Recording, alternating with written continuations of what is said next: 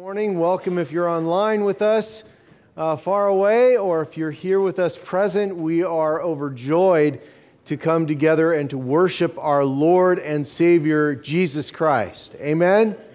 Amen. Are we are we awake? Are we ready to worship God this morning? I pray so, because this is the day that the Lord has made, and we will rejoice and be glad in it. I'm so glad everyone is here this morning. If you are new, we want to welcome you. We want you to feel invited. If you are coming back from a time away, we're glad to have you returning to us as well. Just a couple of announcements. One, today is a very special day. We have a very special picnic that is happening a little bit later today at 12:30. You can get more information on the back of your bulletin. We'd love to have you there. It might be a little bit warm, but we we have a covering, so we will stay nice and cool together and we'll have a wonderful time of celebration and the beginning of the season of Sunday school, which is starting up soon. And I wanted to give you guys a, a, an understanding for the adults for Sunday school we have a plan. We're not just, uh, we're not just guessing at something. Uh, Pastor Don and also uh, Dr. Huff are going to lead a study through a, a, video series called The American Gospel. And this is going to be uh, little clips that they're going to show, and then a discussion, and have that discussion together, and a little bit deeper time of studying God's Word right here in the sanctuary. So, for this first semester, of, uh, of Sunday school. That will be what's going on upstairs for the adults. The kids downstairs, we're going to have uh, lots of wonderful uh, study with each one of the different levels for each child, and we're excited to have that as well. So that is starting on the 12th. Okay, so mark your calendar. The 12th of September is when Sunday school begins. All right, my other question is how many of you had one of these? Yeah, oh, I see one or two hands. Okay, you can raise your hands. It's okay. We've been praying for the children in the church, specifically those who are in the, high, the junior high and high school age, for this year. And during this year, this book, uh, Pray for Me, which has been a campaign that we've done this past year, has encouraged us to pray for these children every single day in seven different facets of their life and to pray over them as far as Scripture goes and for the Lord's blessing in their life. And I pray that those who have had this have been praying for them and lifting them up and doing so. We are planning in the midst of September, I haven't given you a date yet, but it'll be after the 12th. We're going to have a, a time of celebration during the worship service for the children and also for those who have been praying and doing this. So bring, I plan on finding that book if you haven't had it right next to you, but if you have and you're like me and, and you've got notes in it and all sorts of things, and you would like to bless that student with this book, we will have that opportunity uh, later on in this next month. So plan for that. Uh, get your books ready and anything that you want to add to it or add any other prayers, that would be wonderful. Let's begin our time of prayer our time of praise and our time of joy in the presence of Christ. Heavenly Father, we thank you so much that you have brought us to this time to worship you and to praise you. Lord, bring our hearts together as one right now, that we would worship you in spirit and in truth. We ask for the blessing of you, Father, Son, and Holy Spirit, in this time, lifting us beyond these pews into your presence that we would know you by our songs, by the scripture that is read, and by the word that is preached. Lord, be glorified in this time, we pray. In Jesus' name, amen. Amen. amen.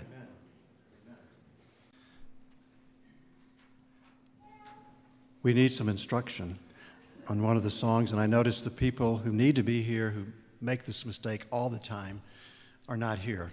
So we need to reinforce our singing on this particular song. I'm just kidding, guys. I sound very serious. But I am serious. If, if you turn to the page uh, where it says, Sing to the Lord, all you saints of His, PowerPoint, just stay still. You don't need to go anywhere. Sing to the Lord, all you saints of His. Are you there in your bulletin? It's on page whatever. Um, and you're going to go to, to the second paragraph where it says, Sing to the Lord, all you saints of His, and give thanks, okay? In the children's sermon, we've been talking about a scale. And so many times when we're in that sing to the Lord in that refrain that comes back, we're not singing it properly. And we want to cut to the chase here and, and learn it this way. So, Glenda, if you play Sing to the, to the Lord, all you saints of His. Yeah, that's the pitch we want. to the Lord, all you saints of His, and give. It's a scale, it's one, one, one on top of the other. And it doesn't, and we're singing the wrong note on all. Now, who cares? and really, who, who cares that we, we missed that? I do, and the Lord cares. so um, just be alert. Could you do that? Uh, sing to the Lord. And, and we start, All you saints of His, and give. Do, do, re, mi, sa, fa, sol, do, whatever it is. Okay, try it with me. Sing to the Lord, all you saints of His, and give, and so forth. The rest you get. I'm really speaking to the choir because I could pick out everyone who does that wrong, and I won't do that because. Uh, but for my sanity, please do it right. Now, try it one more time. Sing, sing to the Lord, all you saints of His, and give. thanks. Okay, you need no instruction. You're the ones that do it right. I hope they're watching. Now, be alert because we're pumped for the Lord this morning. And uh, Mrs. Wilson's going to lead us in the first song in a moment. Um, and then during the children's sermon, we need all God's children. And some of you have been appointed chimers out here in the, the older children in the pews, and some are back here. And so when I say chimers come up, you'll come up, and I'll give you a chime, just saying that. Some of you, you know who you are. Uh, I do too, so. All right, let's praise the Lord with this wonderful Psalm 63 that Mrs. Wilson will now lead us in. And stay seated as we pray.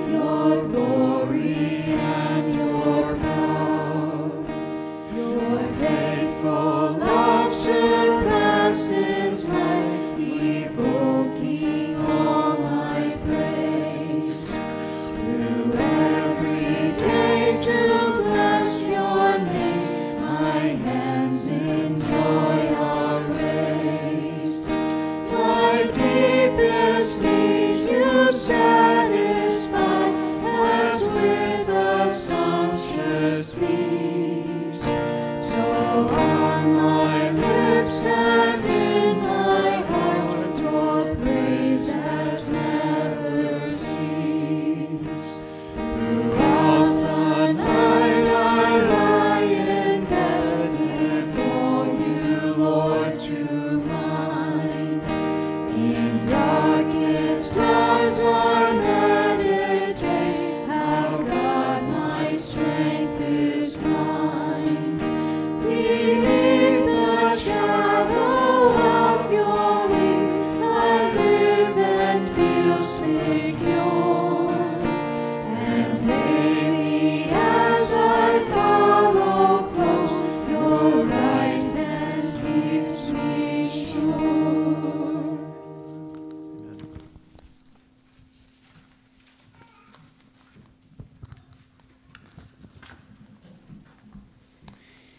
from 1 Peter chapter 2, 9 and 10. But you are a chosen race, a royal priesthood, a holy nation, a people for his own possession, that you may proclaim the excellencies of him who called you out of darkness into his marvelous light. Once you were not a people, but now you are God's people. Once you had not received mercy, but now you have received mercy. Will you pray with me? Heavenly Father, we thank you for every gift that you give us. We thank you for the heat in this really hot time. We t- thank you for the cool air during the winter times, and we appreciate some this afternoon too. But Lord, we recognize that every good gift comes from you, and we bless you. As we think of the many things going on in this world around us, we think of the uh, things we've seen in the news this past week and the things we're probably going to see this week with the storms. We recognize that you are on the throne and you are in control, and we have confidence that your plan is perfect and will come about in the time that you have prescribed. We pray this morning that we would cast aside those things that distract us and that we would focus on bringing you praise and glory, that we would have ears to hear what will come from your word this morning. In your name I pray. Amen.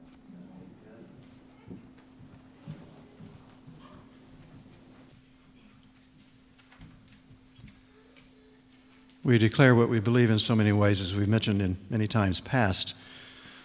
And the song that we're about to sing is part of like a creed that we believe. We are your church, O Lord.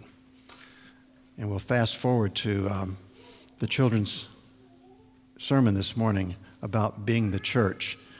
And if there's anyone lacking in the congregation, we miss you. So stand together as we sing, We Are Your Church, and we'll proceed from there.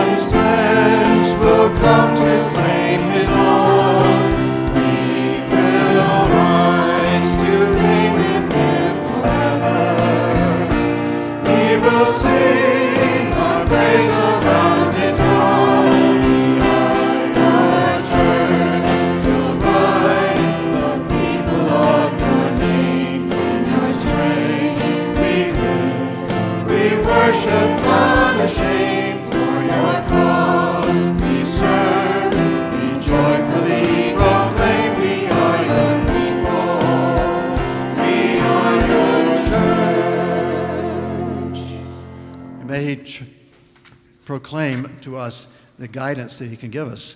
So we sing, Guide me, O thou great Jehovah.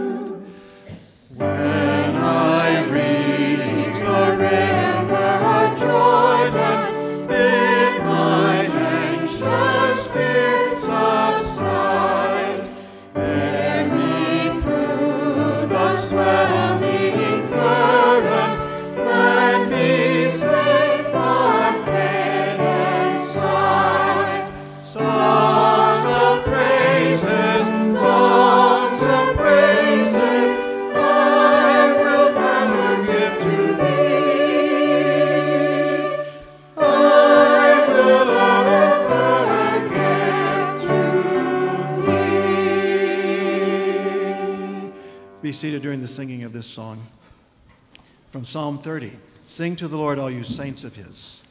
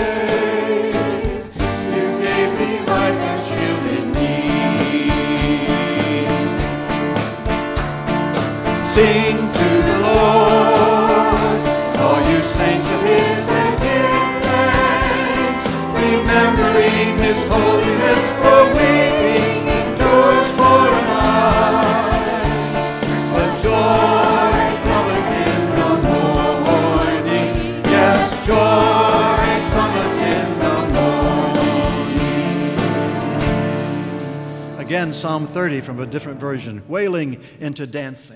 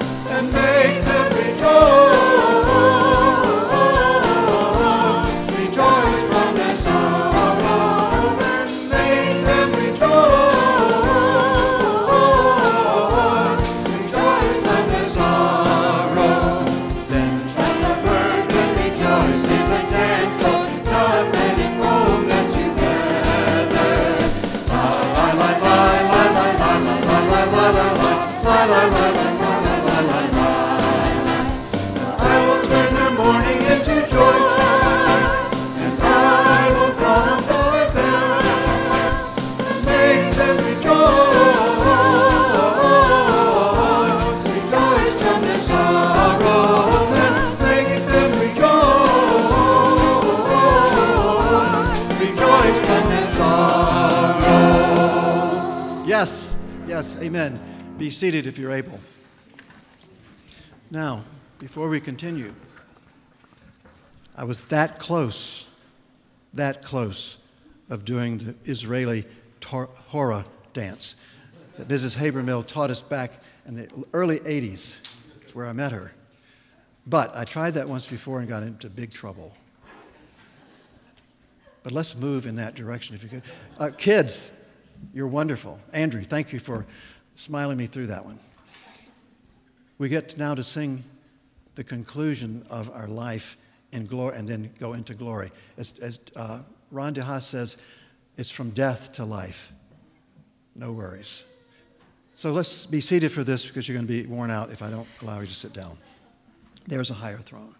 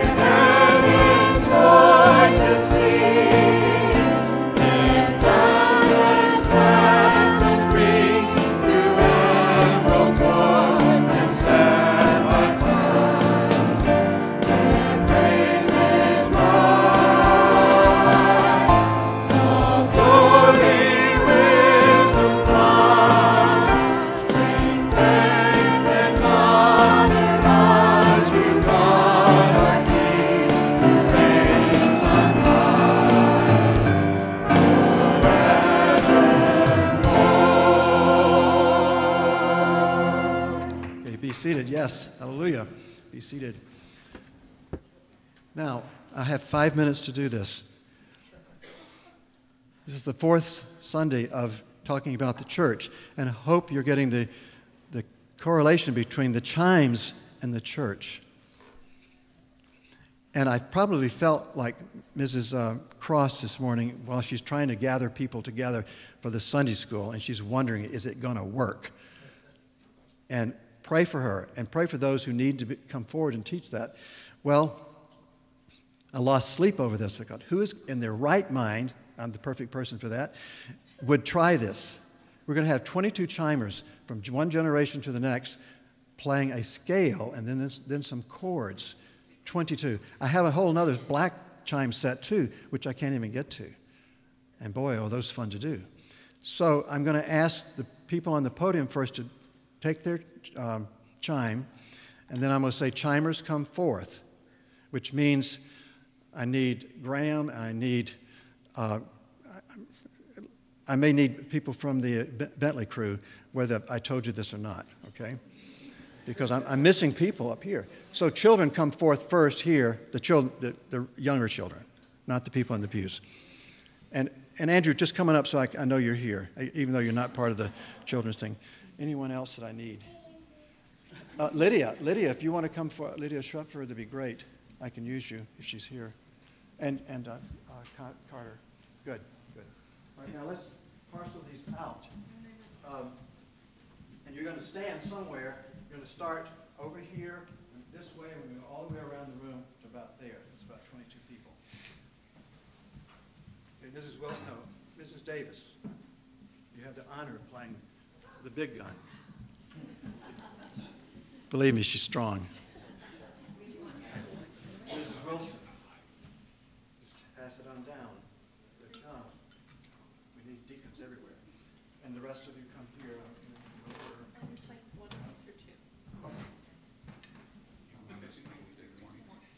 No, yeah, I need you in the row. I need you in the row. Just get behind me here. Wherever you are. Oh, right here. Where are you? Oh, I need you right here. I'm as clear as mud, I know that. Yeah.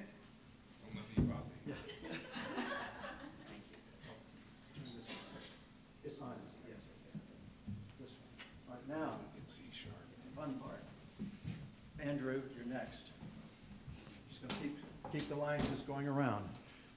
Hold it like an ice cream cone, but don't lick it. Uh, Carter. Lydia, you want to try this? I hope so. You're here. I might. You hold it like this, and I'll show you how to play it. But you have to get in line over here, though. Uh, just keep going next to Carter and go down the steps. We're going to. All right, so we have. Okay, chimers in the pews, would you come forward? That you've been assigned. Okay. And just keep. And if I run out, I'm sorry. It's just I tried to count. And people were late coming in, that's another issue. Just saying.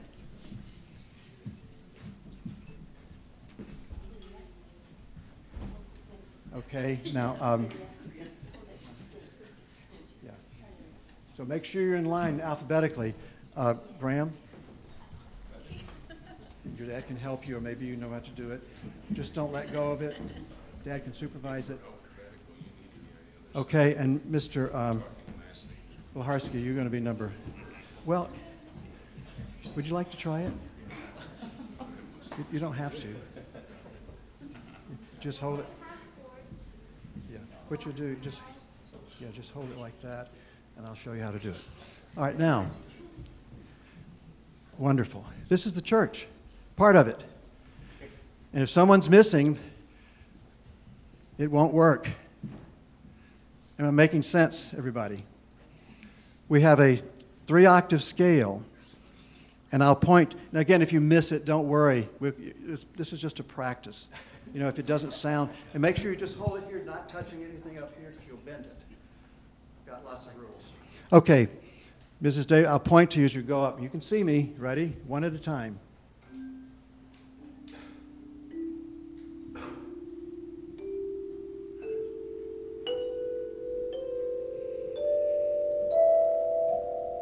Going too fast, not watching me.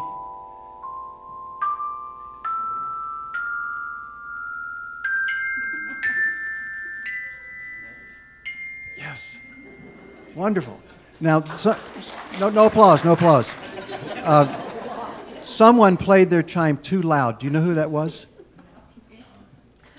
Colin. It was Colin Rose. And we're going to do it once again and try to listen so that you're right in tune. Sorry. Um, I have latitude here, I guess. All right, we're going to start. Let's start from the top and go down. Are you ready? Uh, Nolan? Watch me.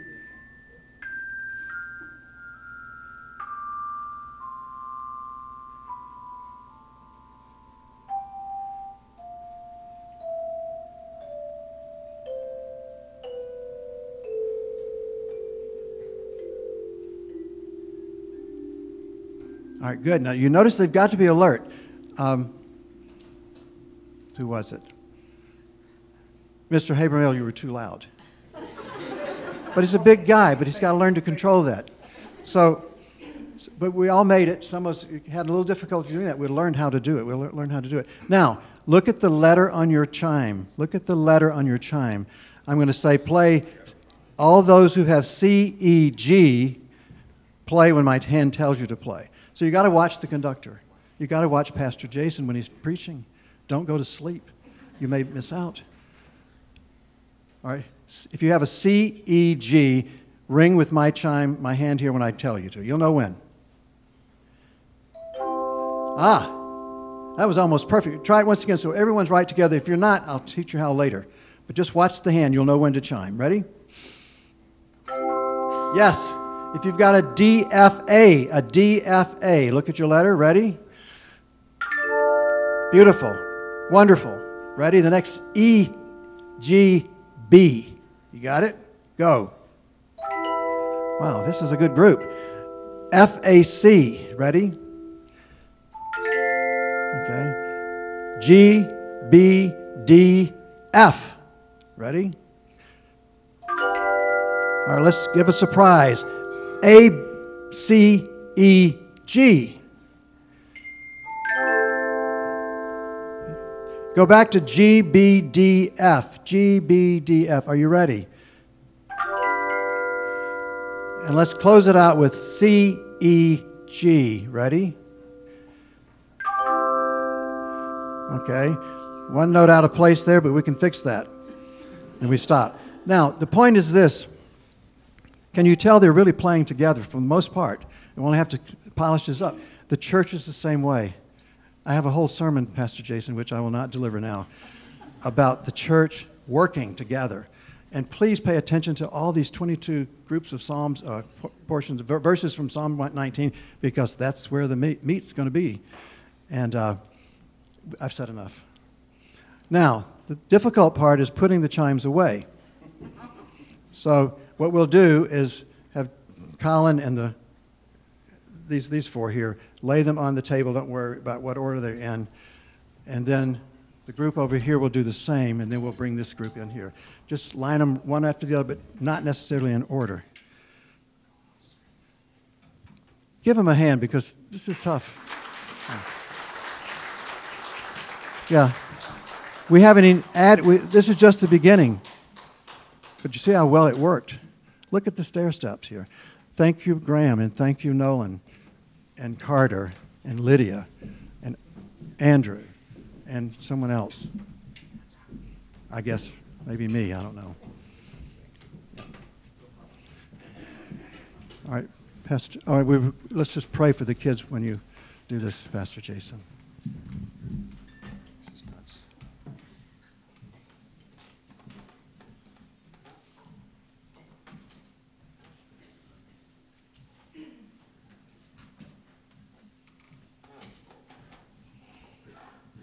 Okay. I guess we Yes. God, thank you for God's children. All God's children have a place in the choir. No matter what our age, we all have a place. Whether we think we can sing or not, we can play. So, Lord, help us to understand that the church is vital to the church itself and to those outside the, the, this congregation. Bless these children. Bless all the children in the choir. Amen. In Jesus.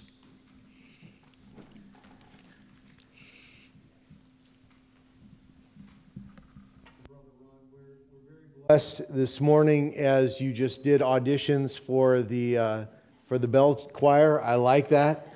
That was very clever. The rest of the church next week, and we'll be all set. Let's pray together.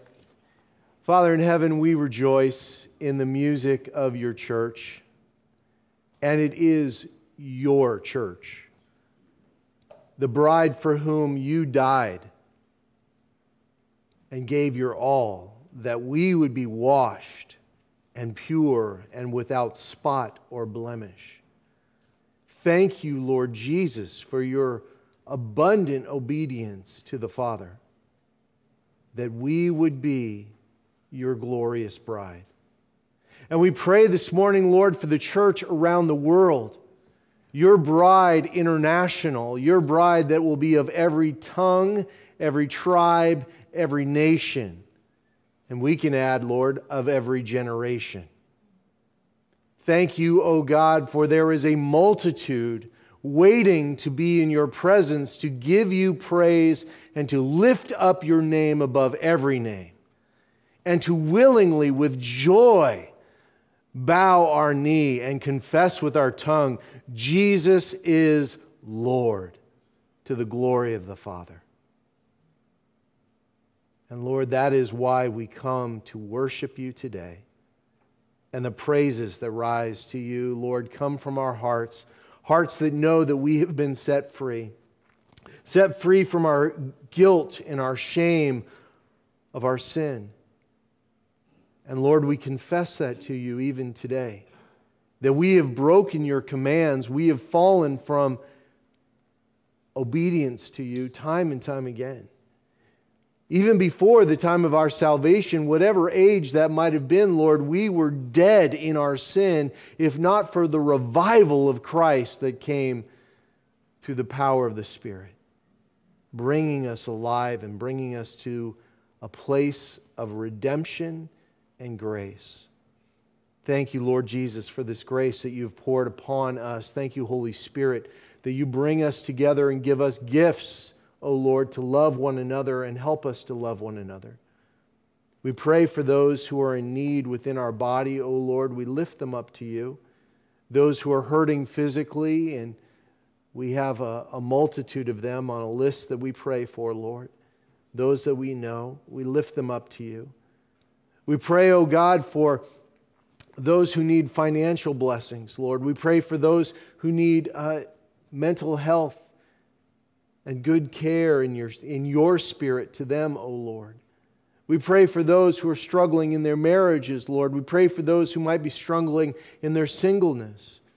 Father, we lift up to you those who are, who are grandparents, loving and caring and watching over and praying for their grandchildren and praying for their children, and perhaps not even knowing yet if they have taken your hand in salvation's grasp. Lord, we pray that you would reach out to generation after generation and let each one of us be a stepping stone for that generation, Lord. We praise you and we thank you for the gifts that we can give to tithe to you, Lord, to give an offering to you, and just to show you that we understand everything that you have given us belongs to you. And so enjoy, Lord, we give back to you this portion today in the, in the basket Lord, we pray that you would use it for your glory, for your purposes. And we pray, Lord, for those ministries and those missions that we support around the world and in our backyard and even amongst us, O oh Lord. We lift up Pastor Don and we lift up Deidre even as they are vacationing right now, but we lift them up for the purposes of their ministry, Lord, for the international theological mission, Father. We lift them up, and we know that COVID has kind of set things back, but we pray, Lord, that you would work miraculously and powerfully as there would be opportunities to teach and to reach those in Colombia and Latin America through this mission. Lord, we lift it up to you and we thank you that we can partner with it, Father. We pray, Father, right now that you would draw us close to your word, your revealed truth to us, that we would cling to your word and know the truth of what you have revealed to us, that we can go from this place boldly and with assurance and love, that we can share the truth of Christ. In Jesus' name we pray. Amen.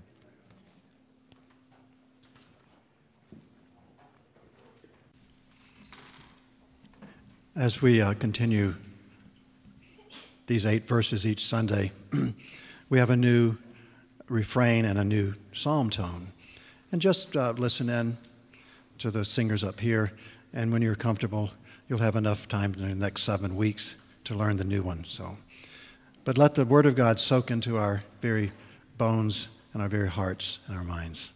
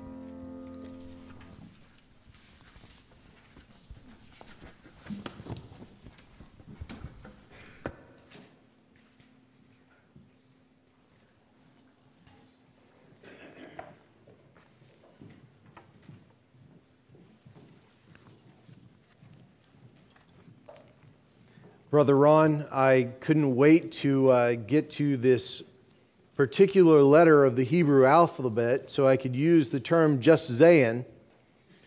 Uh, uh, one of your favorite sayings. The title of this sermon is Just, just Zayin. It is God and us against the world. Have you felt that way? Have you felt that way lately? I heard just recently somebody said, It's you versus the world, and you're going to lose.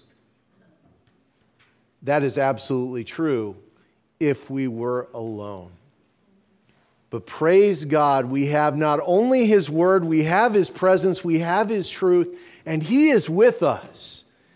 And, brothers and sisters, it, when we look at this scripture today, I want us to get a greater appreciation for just how the Word of God is our comfort and our strength and our song during the time when we feel the world is against us.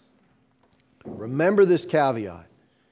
If the world is striking out against you, it is not against you that it strikes. It is against whom? Christ Jesus. So let's consider this today as we come before the Lord's word. Let's pray together. Father, teach us this day from your word. Holy Spirit, enlighten our eyes and our understanding that we would understand this portion of the poem this letter from Hebrews, Zayin, Lord, and understand exactly what you are calling forth for us that we would walk in your ways this morning. Father, I pray your blessing on us in greater understanding. As we call out to you, Lord, remember your word just as the psalmist cried out. Remember your word, O Lord, and give us comfort in times when we are oppressed and may your word be the song upon our hearts. We pray this in Jesus' name. Amen. Amen. Well, I've been starting out many of these by explaining to you the letter in the Hebrew that is beginning these next eight stanzas of this psalm. And this one is Zain, which seems in Zain that it would be in the middle of the Hebrew alphabet, right? Our Z is at the end.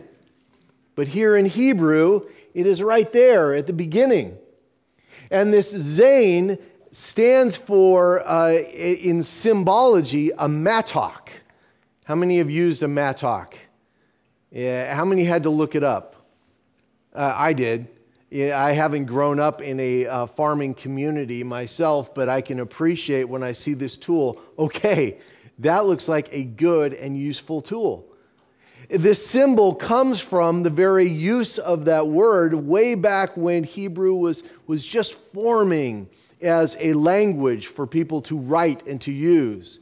And so this symbol has gone on to be now Zain. But this isn't what the word means. It doesn't just mean this symbol of, of a mattock, this tool for farming. It means what comes from the work that is done. It means food. It means to cut. And it means to nourish. And so, really, what I take out of this as I read what the author is doing, what he's bringing forth, this psalmist is bringing forth, the nourishment of God's word in our life when we are seriously in danger when we are feeling absolutely oppressed and pushed down and moved aside and ridiculed for our faith and our hope in God's Word. This is where the nourishment of God comes from. Daniel Akin, uh, whose work I've used a lot as we've gone through this, Daniel Akin is a fabulous writer, but he wrote this and brought back to mind some church history. So let me share this with you as we begin. One of the early heroes in the early church is Athanasius, 296 to, uh, to 373 AD. He was a staunch defender of the full deity of the Son of God and against particularly the Arians, the Arians who believed that Jesus was a created being by God. The Arians were the forerunner to the Jehovah's Witnesses that we see to this day. The story goes that the tide was beginning to turn in the favor of the Arians theologically. And a concerned colleague said to Athanasius, Athanasius, the whole world is against you. And quickly and firmly, Athanasius responded, Athanasius contra mundum, which means Athanasius is against the world. In the stanza of Zain in Psalm 119, the psalmist appears to feel much like Athanasius. The whole world is against him. The arrogant mock him in verse 51. The wicked who ignore God's instruction in verse 53 seem to be everywhere. Yet one thing remains certain God is faithful and will comfort him in times of trouble. When everyone seems to be against him, in verses 49 to 56 of Psalm 119, it provides encouragement and guidance for how you should think and how you should respond. Well, don't we wonder in those moments when we are pressed upon by people who are attacking us for our faith? How should I act right now, Lord? Should I attack them back? Should I speak my mind? Should I tell them to just shut up? What should I do? How should I act? How can I be like Christ? Well, look at the beginning of these verses here. Verse 49 and 50. Remember your word to your servant, in which you have made me hope. This is my comfort in my affliction, that your promise gives me life. First thing he says is, God, remember your word. God, remember your word. And this is the only time in, in this whole section of eight verses that there is an imperative plea to God. And the first plea is Lord, just simply remember every promise that you have ever said. Remember all of those things. Now, here's the question Does God ever forget them? No. But it's an impassioned plea to say, Lord, act upon these, please. Act upon in everything that you have promised. Let it be true in my life. In fact, he goes so far as to say is that when you remember, O Lord, your word, it gives me hope. It actually even makes me hope. It brings hope to me. You have made me hope. This is something that you have put in me, Lord. Hope is putting our trust in an object that is trustworthy. Hope is counting on the character and the quality of the thing that you are trusting in. So, as the psalmist is crying out to the Lord, the highest of all, the King of heaven, and all of the promises that up to that point the psalmist had seen God fulfill, what did he fulfill? He called Abraham out of Ur when he was just Abram. He promised him not only a, a nation of people, but a blessing to all of the nations and actually a land. This psalmist, we don't know if it's King David or if it's someone else, but in his day, that had all been fulfilled. They were living in the promised land of God. God had seen them through all of their enemies, taken them out of Egypt, and had given them this redemption and promises that still lingered of one day Messiah, God coming and He Himself ruling over His people in love and truth and blessing all of the nations. And so, what was He calling forth at this moment? God, fulfill all of these purposes. For you and I, we consider the Lord over the generations and what he has done. He has kept his word, has he not? He has given us Messiah, he has given us Jesus Christ. Our promised deliverance from sin's justice, of death and hell. And he has brought us in by his own hand into God's mercy in Christ, grace, and now we are his children. Though this is our hope, even now the scripture says this that not only has he come and risen, but what? He is coming again. Don't we want to cry out, Lord, God, remember your word? Come again. As all of the other promises have been fulfilled that you have given, come again. This is my hope. Not in just, I, I wish that it would be true, but in the character of God who has made it true. by the truth of everything that He has done. In my life, in your life, throughout the history of the church, and the blessings that He has given us. Well, look at what He says here. He says, This very thing. Remember your word, Lord, in which you have made me hope. I hope in this very word, but not only that, you have given us comfort. Lord, this is my comfort in my affliction. Who is this beautiful young lady that I put up there? This is Cassandra. Yeah, this is my little Cassandra who's all grown up and, and now teaching. This is Cassandra in the age where uh, we had to send her to uh, daycare, and it broke our hearts at the time because she was not wanting any of it. And in a, in a moment of panic, as we sent her off and we were looking at the list of things that she needed to go off to daycare, one of the things was a doll. Okay, so my wife and I were even reflecting on this. She said it was a last minute grab.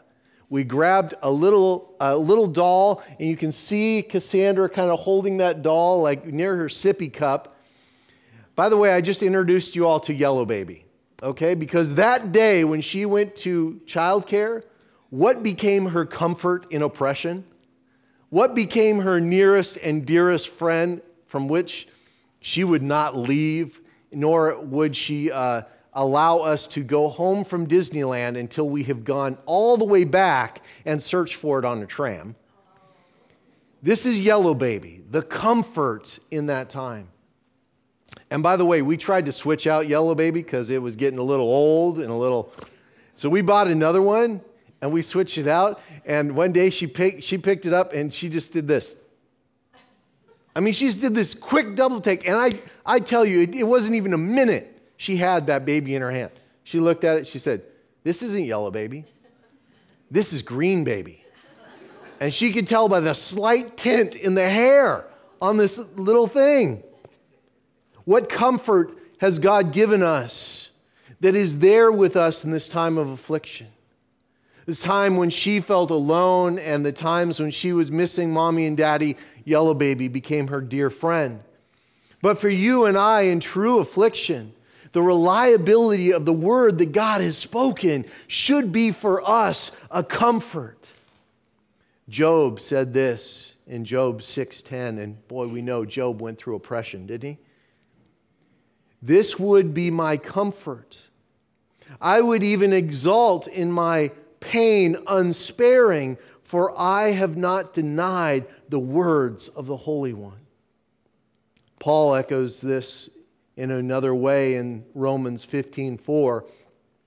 For whatever was written in the former days was written for our instruction, and through endurance and through the encouragement of the scriptures, that we might have hope. What we don't realize is that this very book that we have is for our encouragement and hope in times not only when they're good, but especially when we're being attacked for holding to these very words, this very truth. This is what makes us hope. This is what gives us comfort. And not only that, this is what revives our lives revives our lives. Look at this. He says, Your promise gives me life. Quite literally, he says, Your promise keeps me alive. The promises that you make keep me alive, O Lord. I am the man drowning in the ocean whether it is my sin or it is the oppression of the world because I follow you, whatever it is, you're the one who holds me up and lifts me out. If we're looking for anything else in this world, if we're maybe even trying to blend in with the world, how good is it for the person who's drowning right here to blend in with his surroundings? What's going to be the result? Yeah, death, drowning. He needs somebody to pluck him out of that situation, that circumstance. Psalm 71 20 says, You have made me see many troubles and calamities, will revive me again. From the depths of the earth, you will bring me up again. those times when we're in painful opposition, when you feel like you stand alone and the world seems like it is posed against you and is even calling you the liar. Your promises are not in who you are. The promises that you rest upon are in who God is and His Holy One, the sovereign Redeemer of sinners. Remember who you hold to according to His Word. His Word has revealed to us how true and how wonderful He is, right?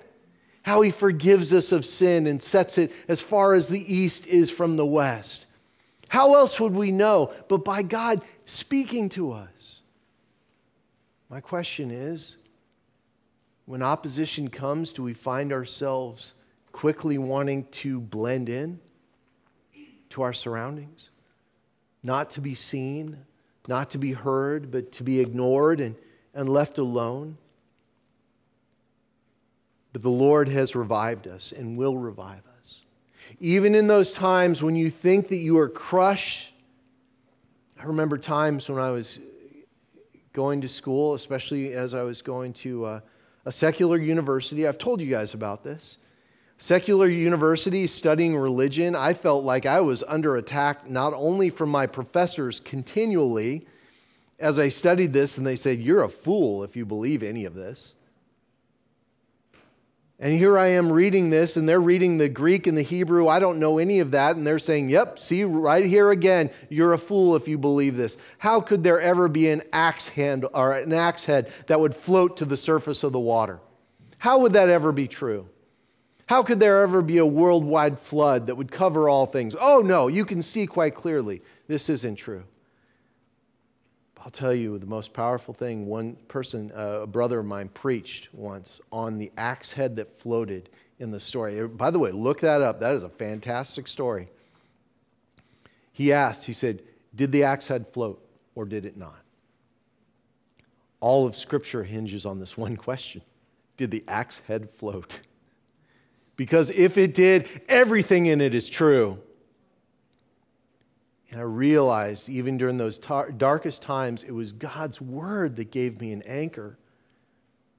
His spirit was, that was with me, and yes, was, was strengthening me and helping me and bringing people into my life to, to correct and, and to be able to defend against and give, us, give me an answer to those who were attacking the Lord's word. And really, what I felt like was me. And later I realized, you know what? You're really striking against Christ, you're not striking against me. And so, why should I be afraid? What can man do to me if he, he is the one who has brought about all of this? He is the one who revives my life.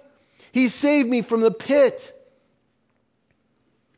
Death is literally undone by Christ. And we know this according to his word. Eternal life has been given to us. We have life now and eternally. Isaiah 54 17 said this, and I want us to remember this because this is God's word to us in the midst of opposition. No weapon that is formed against me shall prosper.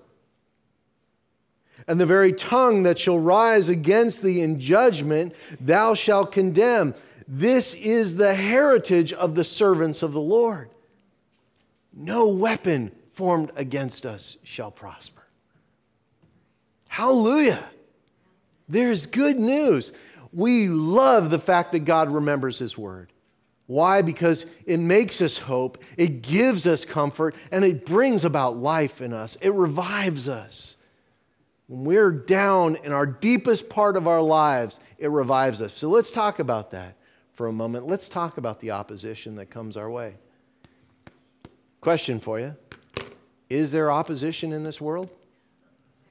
Is there, does there seem to be any sort of target on the back of Christians today? Does that target seem to be growing? Does there seem to be an insurmountable amount of people that are even trying to take away the voice of Christians that they would be silenced, particularly Christians, and others who are very religious are allowed to speak freely. But those who proclaim Christ are to be silenced. Those who proclaim that there's one and one only way to the Father. Not because we say so, because let's all be honest, in our flesh, we'd love to say, hey, y'all get in. Sure. Because that way I'm not so bad and you're not so bad, and uh, we don't really have to answer to anybody. But according to God's word, who do I have to answer to? To Him. I'm not comparing my righteousness to one another. I'm comparing it to the one who is eternally and perfectly righteous. And before him, I stand condemned. And I need salvation. And so do you. And he's made a way by his grace. He's also brought forth justice and mercy upon the cross. And there is only now one way that we can be saved, and that's through him. Does the world want to hear that? No. So, what does the world do? It, it spins lies and it mocks and it ridicules. I want to ask you a question Has anything changed? Look at verse 51. The insolent utterly deride me, but I do not turn away from your law. When I think of your rules from old, I take comfort, O Lord.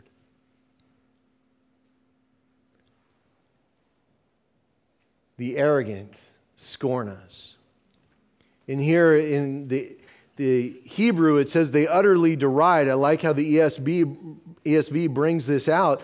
They, they mock us continually.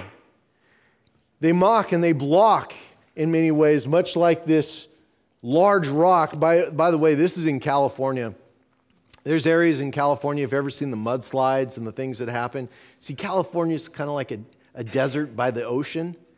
And so when the, the, the rains come, it gets nice and green and everything like that. But guess what they don't have is deep roots. So everything that turns green eventually starts to slide. And you get these giant mudslides. And this is this boulder fell down in the past. And I look at this and it, it just kind of brings forth this idea. I, I was going to put up people mocking and pointing and all these other things, but we understand we understand what it is to be mocked. Turn on a sitcom on TV today. Who is the butt of the joke? Yeah, Christians. Those who would profess loving your neighbor, loving your enemy, forgiving others when they hurt you, mock them.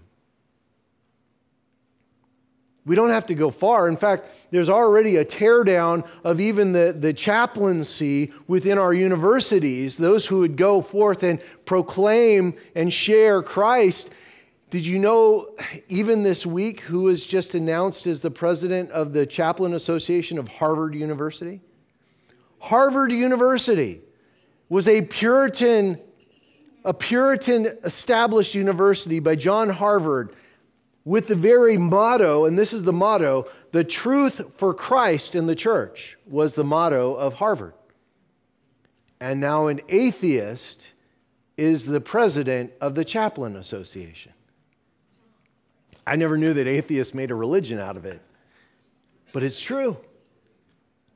Here now at this point, we're seeing that, that the church has been pushed to obscurity and the word of Christ is now even denied. In fact, Mr. Epstein, who is the one who wrote this, he also uh, is the one who wrote this book that says, Good without God. That's the motto of the world, is it not? We're good without God, we don't need Him. Do not doubt that what God does in the darkness, He will, do not doubt that what is done in darkness will also be revealed in the light of truth. And here's the heart of this is as much as we're mocked, what does the author say he will not do? Though the world might turn from the word of God, what will he not do? Turn. This is where we have to stand and say, you know what? No, I have nowhere else to go. If I were to blend into the environment, that means that I'm going to join those who are dead. But I have been made alive through Christ, and I stand on His word and His word alone. Much like Peter said to Jesus, You have the words of life. Where else can we go? Are we willing to stand and say, This is what I believe, not just because it makes me feel good and gives me comfort and gives me peace and makes me alive, but because it's true? And in a world that wants to turn from truth continually, brothers and sisters, we are called to hold fast. Called to hold fast. He says in verse, thir- uh, verse 53 Hot indignation seizes me because of the wicked who forsake your law. The wicked care nothing for your word. And so, what will I do? I will remember and take comfort. Look at verse 52. When I think of your rules from, from old, I take comfort, O Lord. He calls out to God at the beginning. He says, Lord God, remember your words. And what does that bring to him? Comfort and strength. And now, in this time of opposition, what does he say to himself? I'm going to remember God's word. He's remembering, he's holding true. I'm going to remember, I'm going to hold true. But what does that require, O body of Christ, that we would hold fast to the words of God? What does it presuppose at the beginning? That we know God's word. There's Barna studies that are out today. I, I can't quote you all of the different percentages and things like that at this moment. But there is a high percentage of evangelical Christians today who say there's other ways to get to heaven. That the Word of God is not necessarily all the Word of God, but instead they have a little nuance. It contains the Word of God. These are evangelicals. These are people that we would say we agree theologically in all these different points. But if you're starting to doubt the very word of God and saying, well, you know what, not all of it, I got to pick out which ones are really His, we have now just slipped into a dangerous place, especially when we face opposition, because how are we going to stand and say, Thus says the Lord, when we go, oh, wait, not this page. This page. Yeah, he might have said this. Back in the 1980s, following into the 90s, and then into the 2000s, there was a council called the Jesus Council. Has anybody heard of them? They would actually, they were a group of scholars that would gather together and they would vote based on their historic perspective and their, their studying and understanding the language and the culture of the words that Jesus had spoken, and they would vote on whether or not he actually said them. Yeah. Yeah, there were black beads, gray beads, and I think it was like a, a, pink bead or something like that on whether or not he spoke it. The closest thing that they all agreed on was a gray bead of he might have said this was give unto Caesar what is Caesar's. They don't even agree on the second part and give unto the Lord what is the Lord's. This is how lost the world is. I want us to understand this. They don't even know exactly what God is saying, and they're, they're divvying up the little parts of His Word rather than hearing the truth that you are sinners needing salvation that only Christ can bring. And here we sit in opposition and those who would turn and say they care nothing for the Lord's word. And we need to, in this moment, right now, brothers and sisters, remember his word and take comfort that we have his word spoken to us. Take comfort in this truth. Don't let it pass by. Don't let it sit on the shelf and get dusty. Now, I know some of you are going to say, well, wait a second, Pastor. You just passed off uh, you just completely passed off on the hot indignation part. I want us to step back and look at that again, Pastor. Sure. Let's look at this. Let's look at this and let's consider why is he so in fact the words in the Hebrew is he is he is enraged. He's upset, he's terrorized, he's horrified by what he sees. Why is this great horrification in his heart? Why is he looking with such terror that seizes him when he sees those who have turned from God's word? Notice the term have turned from God's word. Who is he looking at and all of a sudden just overridingly upset about? From those who proclaimed that they were believers and now aren't living like it at all. That's what seizes him inside. In fact, John Calvin says it's not a matter of he's hotly mad at them, but instead he's horrified by what God is going to do when he brings his judgment. To those who knew his word and then turn from it utterly and scorn it and are ashamed of it and go back to the ways of the world, join in with the surrounding water that they're drowning in. You know, in the history of Israel, Israel always had an issue with God. God always wanted them to stand out and be set apart. He said, You are my chosen what? People. You are my chosen nation. A people of, for my very own. I've set you apart. You're going to dress differently. You're going to eat differently. You're going to have a covenant that's different. You got a God that's different. And what was the one issue that continually, as you read the Old Testament, continually was the issue on Israel's part? Uh, Lord, we want to blend in. We want to be like all the other nations. We want a king like they have. We want gods like they have. We want to be like everybody else. Now, I'm not degrading what the saints before went through because what do we also do? The same thing. We want to blend in, we want to fit in. And instead of standing on God's word and standing on the truth of Christ and holding fast to Him, this hot indignation does not mean that we go on the attack. No. It doesn't mean that we now turn the tables and we mock them. No. It doesn't mean that we now rise up violently and defend God's word. Please. No. He is the judge, and wrath is His and justice is His. But what we can do is not only remember His word and take comfort in it, but we can pray for and proclaim to those who have forgotten the truth, to those who walked away from the greatness of God. Calvin said this, and I'll just repeat this. The prophet asserts that he was seized with horror because though he considered the long suffering of God on one hand, yet on the other, he was fully persuaded that he must, sooner or later, bring swift punishment to those who had fallen away.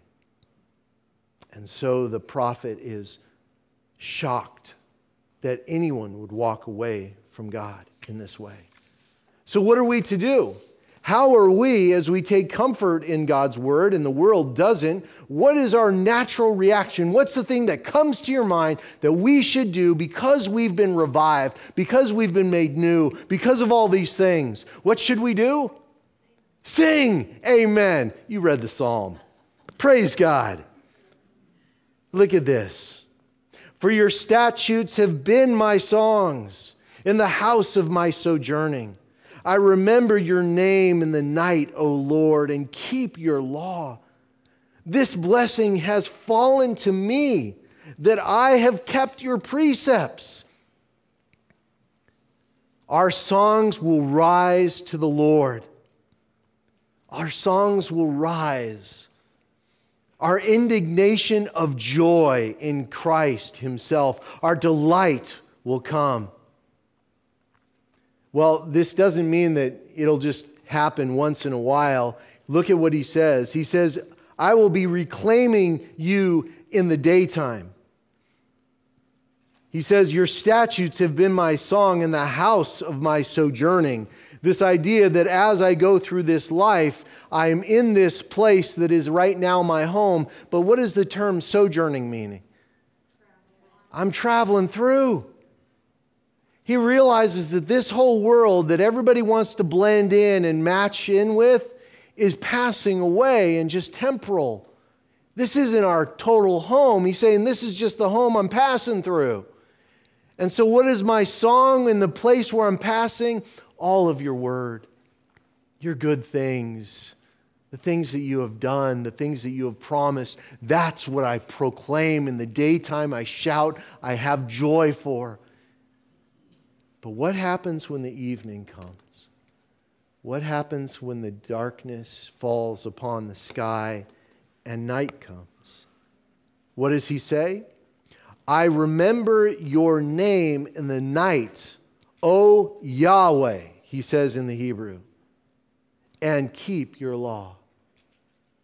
Our comfort in the time of darkness, the darkness perhaps of our souls, dealing with our sin or dealing with persecution or dealing with the problems of our life, this darkness in this moment is the time in which we remember the truth of not just His word, but what does it say? I remember your what? Your name. You, O Lord. It's not just going from a piece of paper or anything like that, but I realize that every word that you've spoken is you who's been revealed to me. And so, what will I remember in the dark times and the moments where perhaps it's even physical darkness and you're laying there in bed and it's just you and God and you know what you've struggled with throughout the day? That temptation or that trial or maybe that misword that you said to somebody and you hurt them deeply or something else that you've turned away from or you know you're ignoring and you should be obedient to, that time in the night when it's just you and who else beside you? The Lord. I wanted to suggest let His name be your nightlight.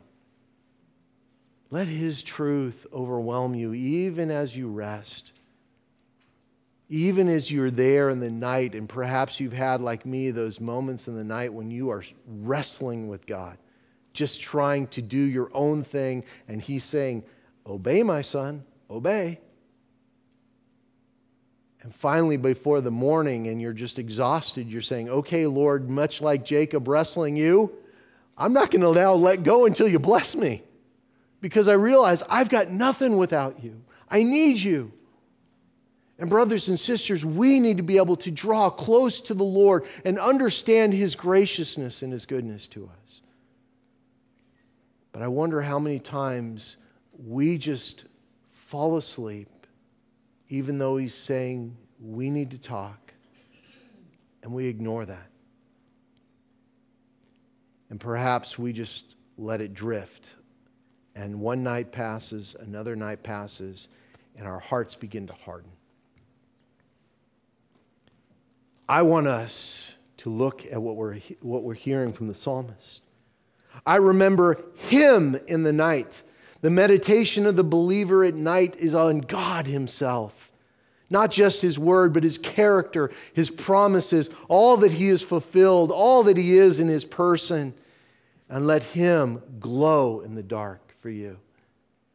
That you would see the dawn with the hope and the joy that only comes from Christ Jesus and know that He has forgiven you now and forever. And He will be with you in the midst of your opposition and those who assail you and those who mock you. He will be there for you.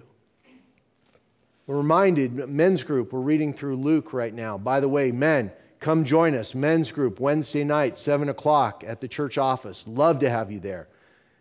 We're studying Luke, and in Luke chapter 6, Jesus was sharing to his very disciples. He said, No one's greater than their teacher. In fact, what is their greatest aspiration? To be like their teacher. That's you and I, brothers and sisters, as we sing of God's goodness in the day and in the night, and utterly retaining a blessing I love this. I love the way he said this. He said, the This blessing has fallen on me. Well, what is this blessing that he says? It's the very fact that he now obeys and he keeps the precepts of God. The very things that people mock, he lives, it's his life. And he says, It's now, it's come to me. It's, it's now part of something I've retained. It's now something that, that is part of the intricately woven elements of my DNA. This is particularly mine, he says, that I keep your precepts.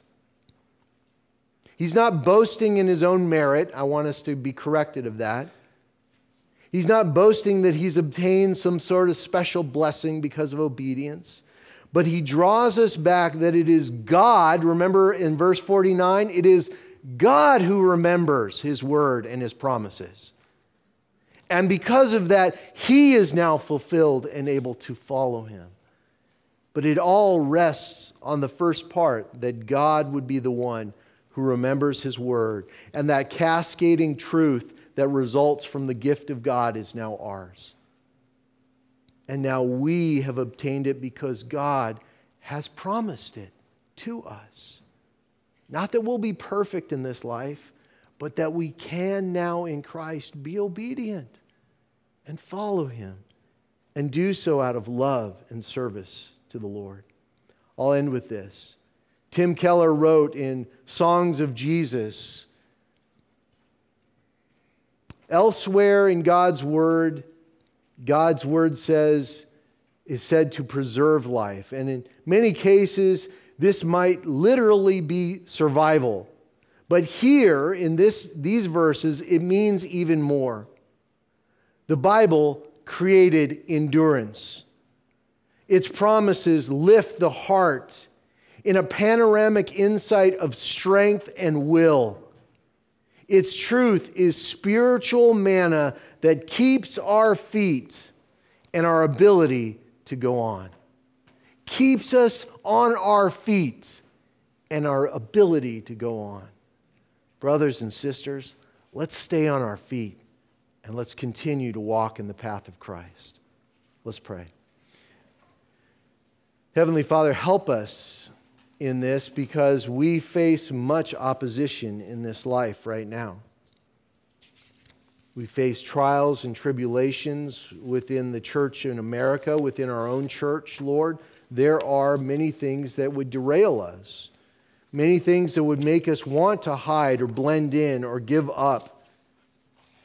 But thank you, O Lord, that you, Lord Jesus, for the joy set before you, endured the shame and the scorn that came from being who you are, and endured the cross for us, that we may now, by your love and sacrifice for us, we may now endure the shame and the scorn, walking in the footsteps of our Master and Lord still behaving and loving and acting as Christ.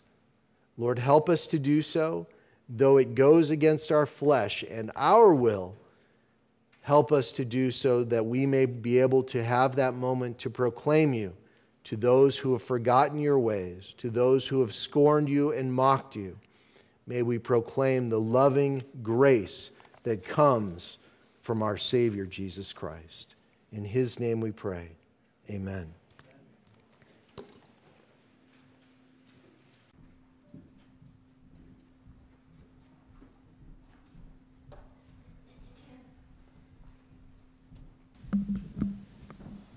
Set our feet. Set our feet on lofty places. Gird our lives that they may be armored with all Christ like graces in the fight to set men free. Grant us wisdom, grant us courage, that we fail not man nor thee, that we fail not man nor thee. We get to sing the same tune that we did at the beginning of the service, uh, but to a text, God of grace and God of glory, from our red uh, hymnal 528. Sing with us together. Stand and be on our feet. A standing hymn.